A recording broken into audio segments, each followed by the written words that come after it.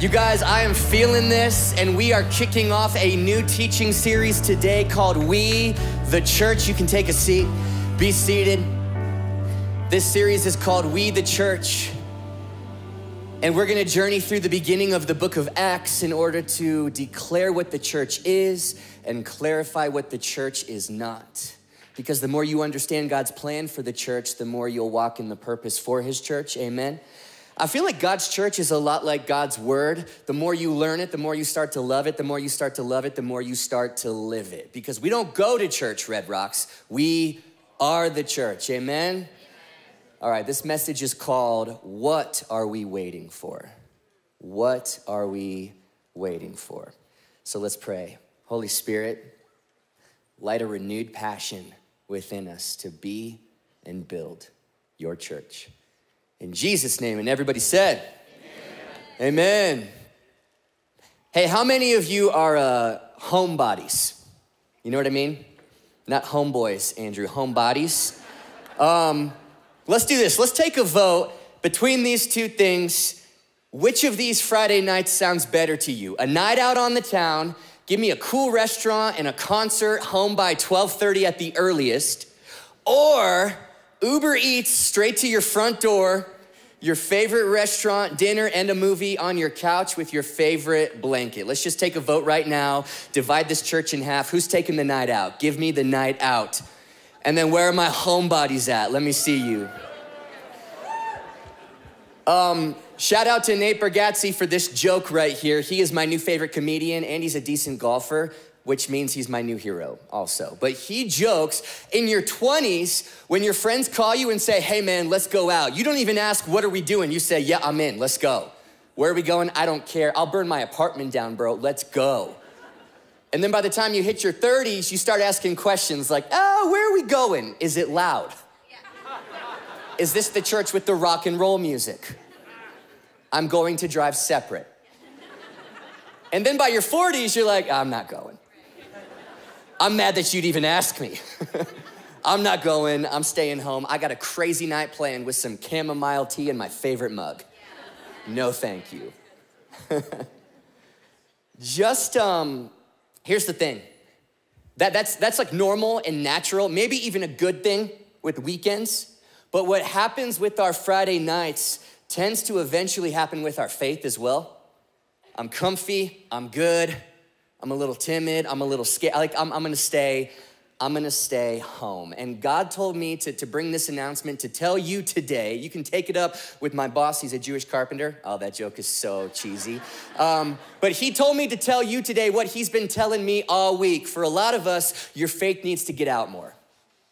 The book of Acts is the story of what it looks like when the followers of Jesus and their faith gets out more. The book of Acts, my favorite book in the entire Bible, it was written by Luke, the same guy who wrote the Gospel of Luke. Look at you guys. Which means it is the second volume of a two part story about Jesus and his church. You know how some TV shows they do a recap at the start of the episode? Previously on Ted Lasso. Previously on the first 18 seasons of Grey's Anatomy.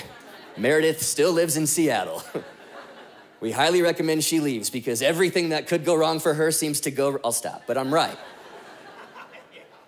Previously on We the Church, on the, on the Acts of the Apostles, after predicting his own death and resurrection, Jesus is back from the grave. And then we pick it up in Acts 1, verse 1. In my first book, I told you, Theophilus, remember this is Luke writing about everything Jesus began to do and teach until the day he was taken up to heaven after giving his chosen apostles further instructions through the Holy Spirit. Now, my first thought when I read that is something that Sean said a few years ago. We're not building an audience, we're building an army. And Jesus gave instructions on building to building the church to those he chose. You don't give an audience instructions, you entertain an audience. You give an army instructions. And hey, I'll, be the first to say, like at, at, this church, unapologetically, we believe church should be enjoyed and not endured. It is the joy of the Lord that is our strength. We will never apologize for our culture of celebration. We stole that from heaven's playbook, okay? That is our that is our culture and always will be. And at the same time, if the only reason you go to church is for entertainment or even to feel good, can I just suggest so many better venues for you than the church? And, and the reason I'm coming out fired up is because I, I love you and I'm on assignment to declare what the church is and clarify what the church is not. Because if the only reason, if you only ask what the church can do for you and give to you, you will continue to miss the point and you will continue to go from church to church frustrated because the church isn't being for you what it never promised or was supposed to be for you in the first place. And then one day, the only church legacy you'll pass on to your kids is your critiques of the 20 churches y'all kind of attended while they grew up. If you look for reasons to leave, you will always find them at every church. But if you know the reasons to stay and plant yourself in the house of the Lord, then something in you will come alive and grow. We are the church. Jesus instructs those he chooses. I just wonder today if you know you're chosen. And I wonder today if you know what a miracle your very existence is.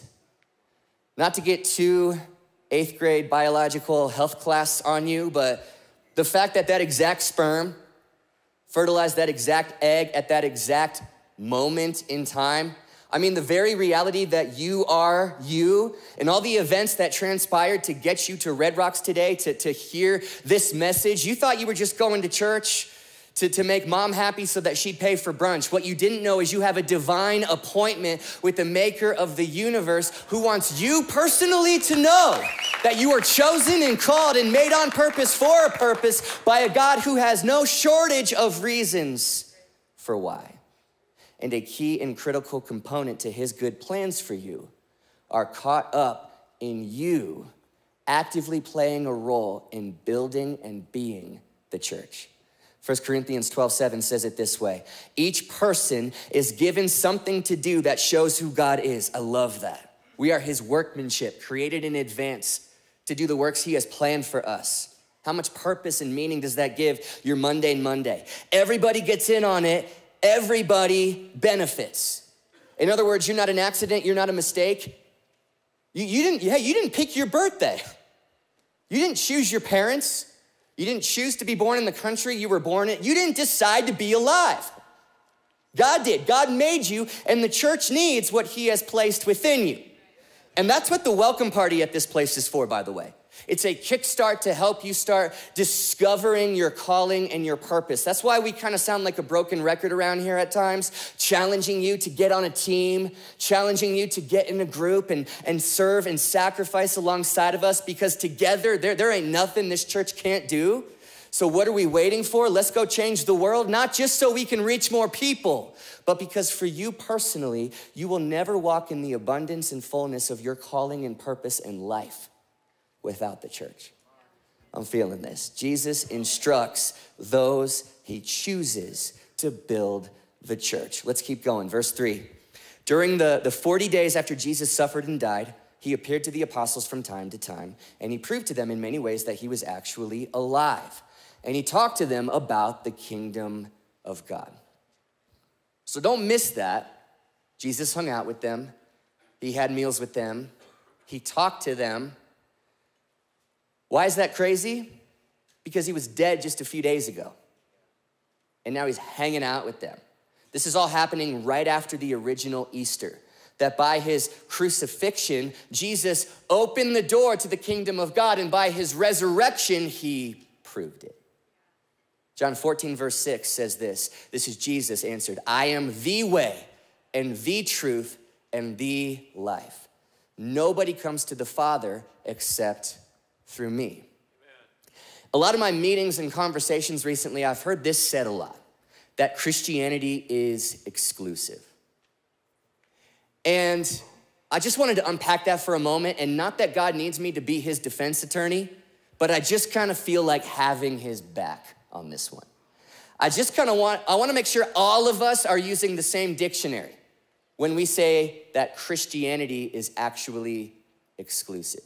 Jesus is the way, the truth, and the life. Because we've got a culture that's really compelled by Jesus right now. Not everything Jesus said, some of the stuff, kind of like build a bear, build your Jesus, build a Bible, build your truth, pick and choose the verses that make you feel good and ignore all the ones that, that don't. Jesus can be my Savior, but not necessarily my Lord. John 14, 6 is one of the first verses that gets cut. Oh, Jesus is, is the way? No one comes to the Father except through through Jesus? I mean, I agree. At first glance, it kind of sounds exclusive. But Jesus doesn't back down. In fact, he says it a different way in John 10 9. I am the door. Whoever enters through me will enter into the kingdom of heaven. They will come in and they will go out and find pasture. Exclusive. You ever try to get into a nightclub only to get rejected at the door? This happened to me in, at the Omnia nightclub at the Caesars Palace Hotel and Casino in Las Vegas. I love Vegas references and sermons because for every one person that walks out offended, offended, there's like 40 people who go, I found my people, man. I found my people. Um, at a club, you get let in or rejected based on your status, who you're with, how you look, what you're worth. That, that is called being exclusive. And by the way, it is the opposite heart of the kingdom of God. I mean, we know this, right? The church is not a, country club for those of us who have it all together. It's a hospital for those of us who know we don't. And nowhere will you find a church that proves that more than right here. I mean, if you just look at John 3:16, we all know this, for God so loved the world that he gave his one and only son that what's that word? Whoever. I mean, is there a less exclusive word than whoever? Whoever believes in him shall not perish, but have eternal life. So, Jesus being the one and only Son of the one and only God and the one and only door into the kingdom of heaven is not exclusive because everyone's invited and anyone is on the list. It's not exclusive, follow me, it's specific. It's not exclusive, it's specific. Jesus is the way to the God. By the way, that is the truth claim of Christianity. By the way, every religion makes a truth claim. Jesus is the only one that showed up dressed in grace. That's why I trust it. I picture just humanity separated from God by a canyon called sin. Now enter religion, because religion is our efforts to bridge the gap. And we think if I could just be a little more gooder than bad, that I will somehow tilt these divine scales in my direction and I will earn the favor and forgiveness that I need to spend the rest of forever in heaven with God. As if God grades on a scale and we look around and we see some people maybe not as sharp as us and we go, "Well, I'm not as I'm not perfect, but I'm not divorced like my sister or a drug addict like my cousin." And these are the these are the silly religious games we play. So so God's going to let you into heaven because like you don't party as hard as the rest of your friends? Because you're really into nonprofits and you're kind and you're a Republican. That's why. Because you go to church, your parents go to church because you're a good person. I mean, I'll give you that. Like, I think you're a great person, but what are we talking about here? A holy God who cannot exist where there is even a drop of sin, which means, do the math with me, what's required? You gotta bat a thousand and score a hundred percent in this life or you got to find a different way. Us like trying to earn our salvation by being gooder. I'm like, man, when, when Mother Teresa on her best day doesn't come close. And if she was in this room, she'd be the first to amen that. We're separated from God by this canyon called sin. Jesus gave his life to become the bridge. God made a way when there was no way. Now imagine for a second, you're standing over here looking at this bridge and you go, only one bridge, God? Exclusive much? And I go, what? Like, how many bridges do you need to cross a canyon? The point is, there is a bridge and there didn't have to be. Do you have any idea how expensive that bridge is? Do you have any idea what that bridge cost God to make? So Jesus saying, I am the way and the truth, the life, the door, the bridge, not all roads. One road leads to heaven and it's me, is not exclusive, it's specific. So before we shake our fists at God for that, you guys, there shouldn't be any roads to heaven. It's not like there were eight and then God dwindled it down to one because Jesus wanted to be the guy. There was no door to heaven until God built the most expensive door in history. And the price was the perfect blood of his one and only son who was crushed on a cross. So 2,000 years later, I could say yes to his grace. We now have a way. And unlike every other religion, it's not based on your performance motivated by fear, it's based on his performance motivated by love. That God would treat Jesus how you deserve. So for the rest of forever, God could treat you how Jesus deserves. And it's scandalous. I almost feel like bad saying it in front of a large group of people. Like it's, it feels just so scandalous, and that's what makes it the greatest news that there is. The church is called to have the same heart. That everybody's on this list. By His grace we're saved through our faith. The only cover charge is your confession. and so, to be so just crystal clear, like clarity is kindness, as if this could be, what if this is the last message I ever preach or the last sermon you ever hear? And I go, I just, you have to know this above and beyond any other information that exists. If you don't go to heaven one day, it is not because you're not on this list, and it's not because you're not good enough, as if any of us are. It'll be because time and time again you walk past this door instead of through it. That's it. Everybody needs Jesus. And that, that's the heart of the kingdom of God.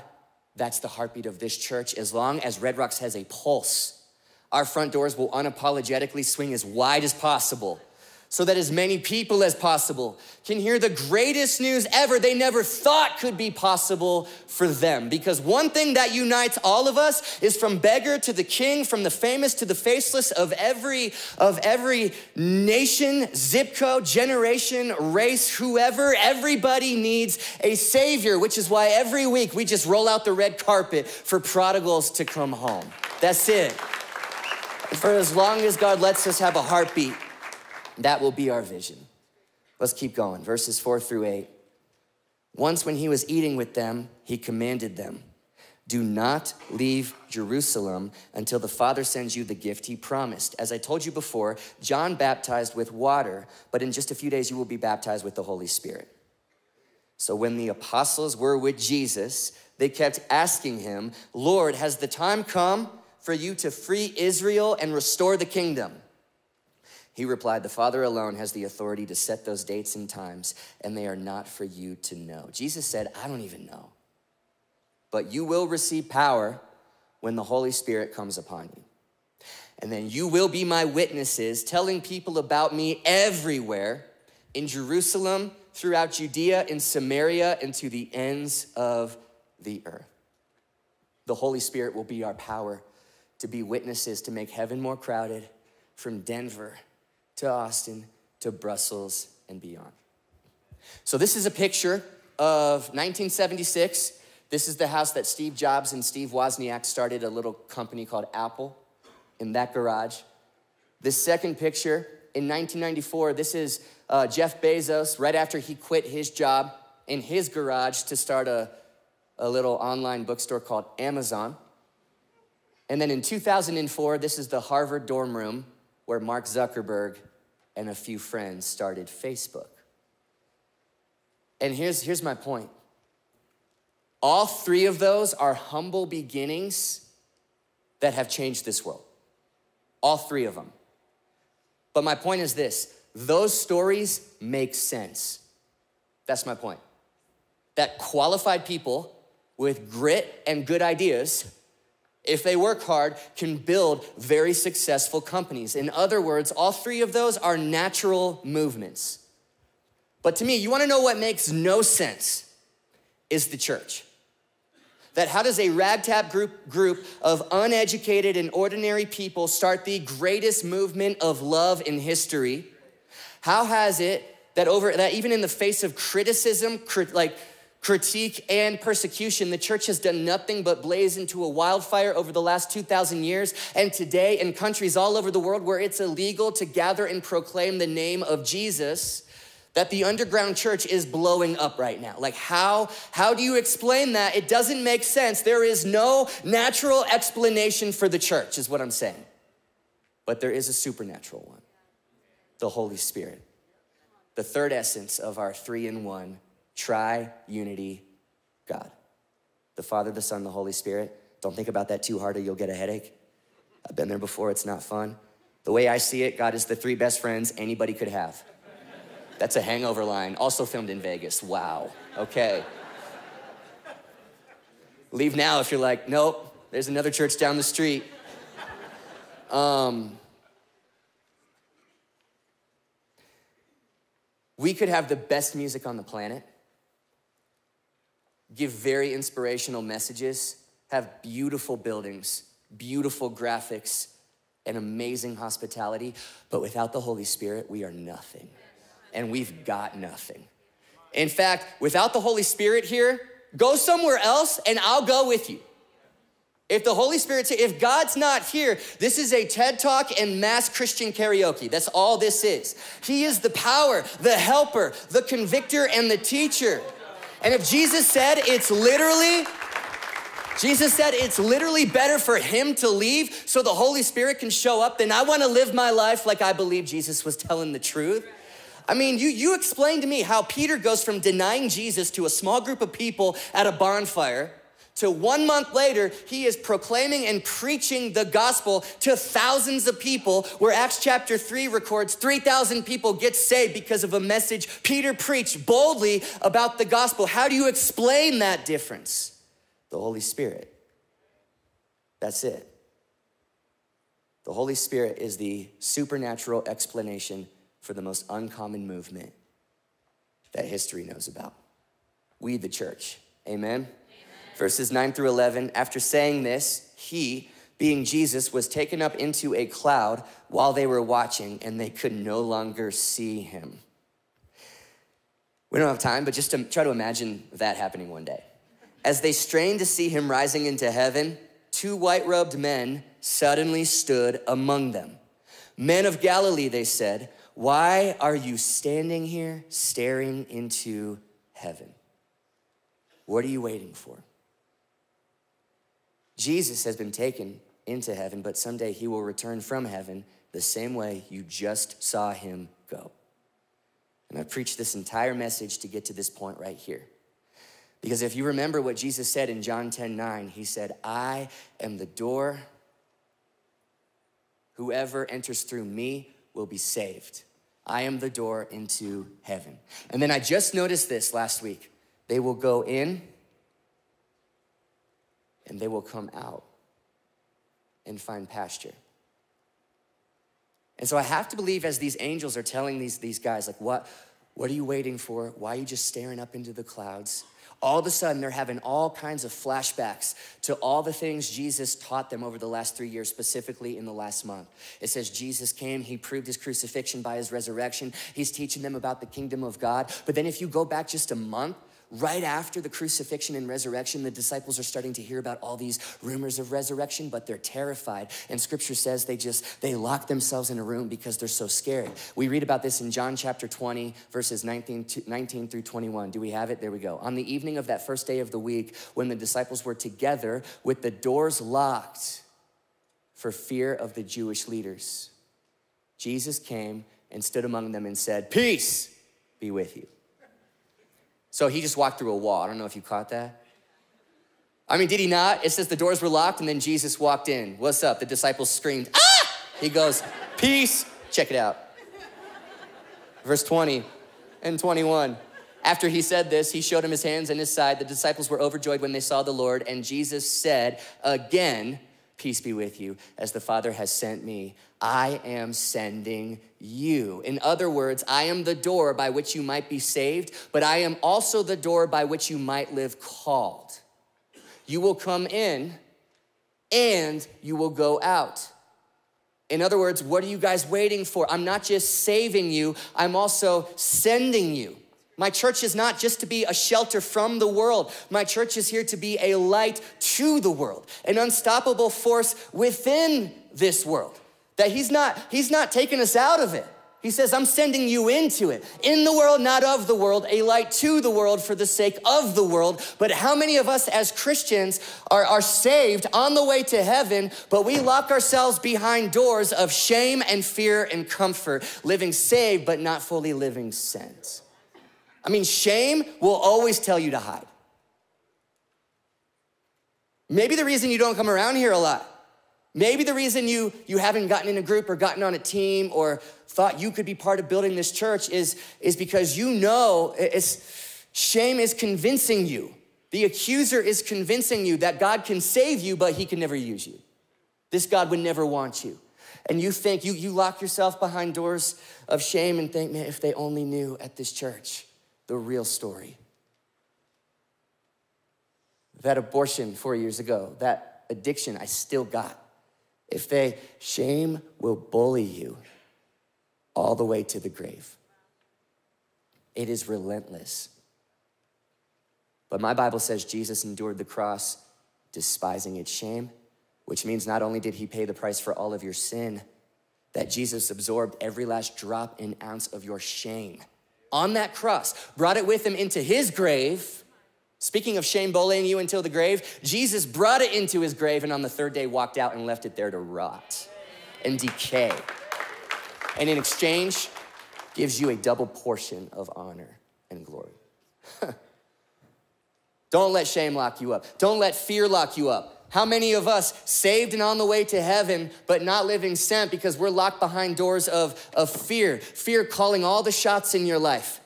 How many of us let fear make all of our decisions, not just the little things we'll do today, but major life decisions?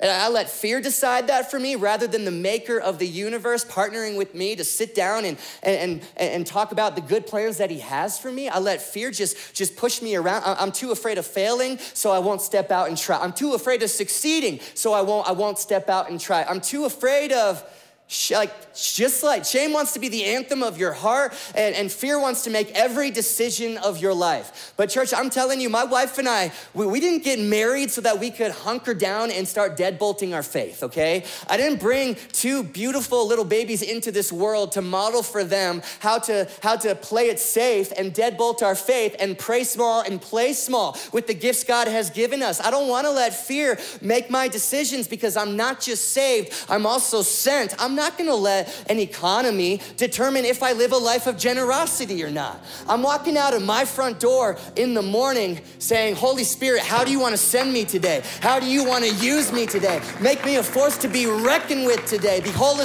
the Holy Spirit empowering me from the inside out to be His witness wherever it is that I go today. Because, man, for so many of us, especially in 2023, we're part of the greatest movement in history, saved by the blood of Jesus. And then our prayers somewhere along the way shift from, Lord, make us more bold and send us out, to God, keep us safe. And I'm all for safety. I'm just saying Jesus didn't come to sell seatbelts and deadbolts.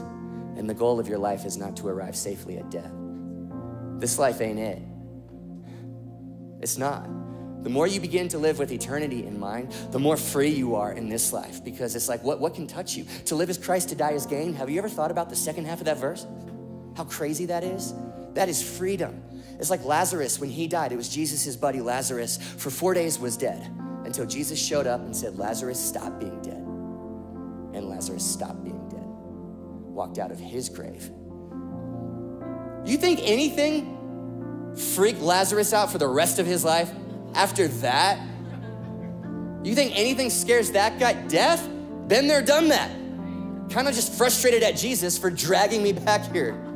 But while I'm here, let's go.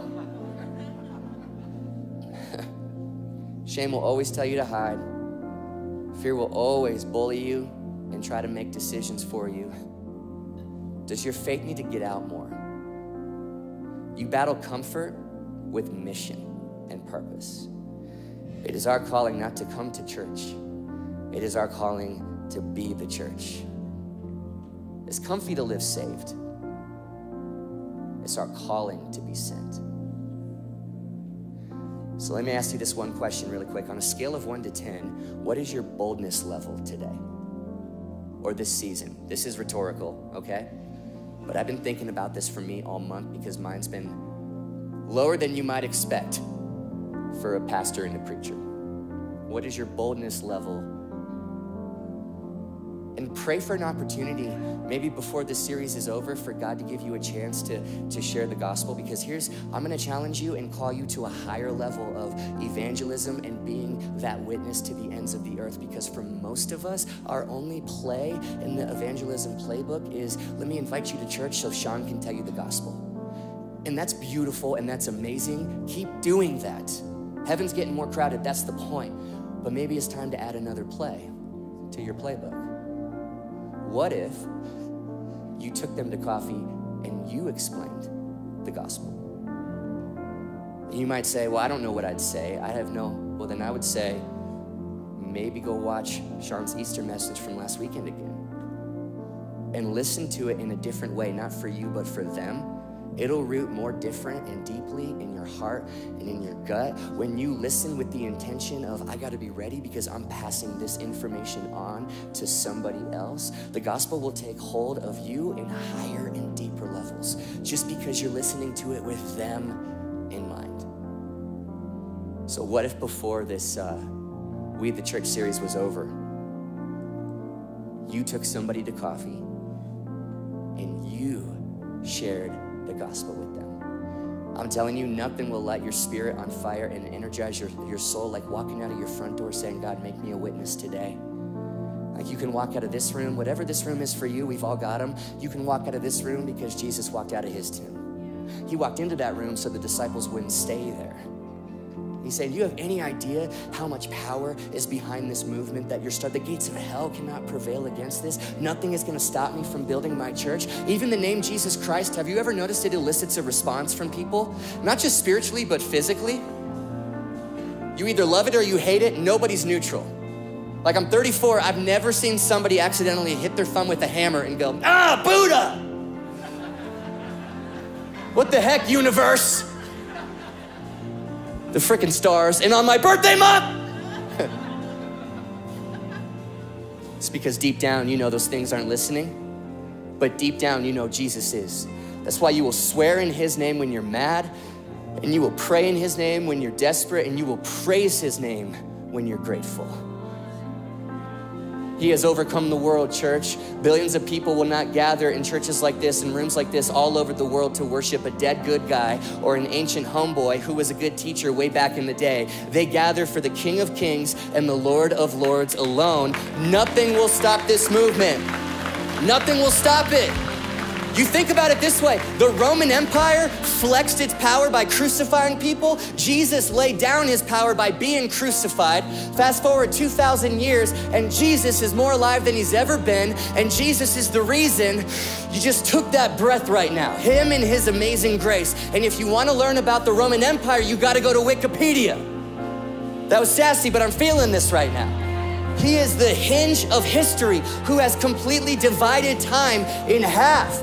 The BC AD calendar, you can't look at a calendar without seeing Jesus, which means that every tyrant and dictator who has ever or will ever live will have no say in the matter, but to have their birthdays, their reigns, and even their deaths measured and recorded in history based on a baby fugitive who was born poor in a cave with no platform and no prominence that is supernatural in every possible way. This movement cannot be stopped.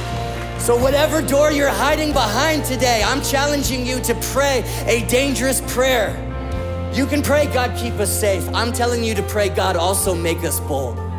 You know, the disciples were beaten and whipped for proclaiming the gospel. And after they got released from jail, their prayer was, Lord, continue to make us bold so that we would not stop. Simply talking about what we have seen and heard. When Jesus said, Let there be light, light exploded out in every direction. The universe has been expanding in every direction at the speed of light ever since. What God speaks into existence cannot be contained. And 2,000 years ago, He spoke the church into existence. It will not be contained. We know the truth, we just need to know the time. It's now. Today is the day for salvation. This is the week of invitation. This is the month for you to become a storyteller of the gospel. For the Holy Spirit gives instructions to those he chooses, and you're chosen. And the Holy Spirit will empower you to be his witnesses from here all the way to the ends of the earth. And I'm telling you, for all we've seen, we ain't seen nothing yet. For the church's history is not as great as her destiny. Will you stand? Let's stand.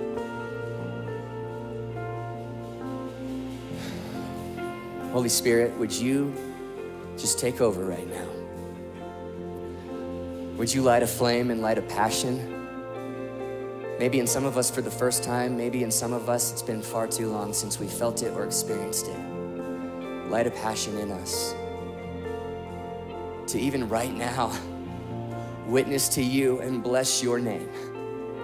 With every drop that we have within us, we give it back to you in the form of praise as you ignite us to be the church. In Jesus' name. And everybody said,